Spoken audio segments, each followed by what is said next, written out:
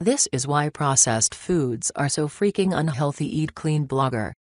As a scientist who is fascinated by health and nutrition, I've heard plenty of theories on why processed foods are so bad for you.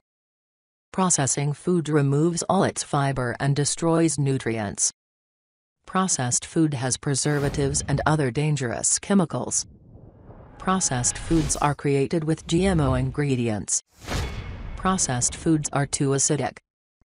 Processed foods have too much sugar. Processed foods have too much gluten. Our bodies can't handle unnatural ingredients.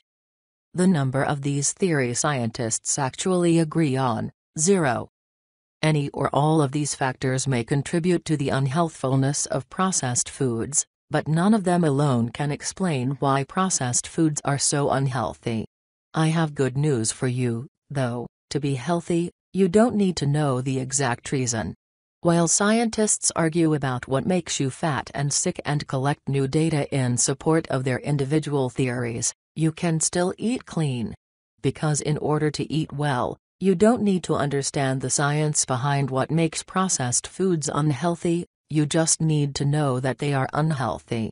Diseases like heart disease, type 2 diabetes, obesity, hypertension, arthritis, tooth decay, and some cancers appear across populations as countries become industrialized and people start consuming more processed foods and fewer whole foods. When people shift away from processed foods and back to real food, health improves.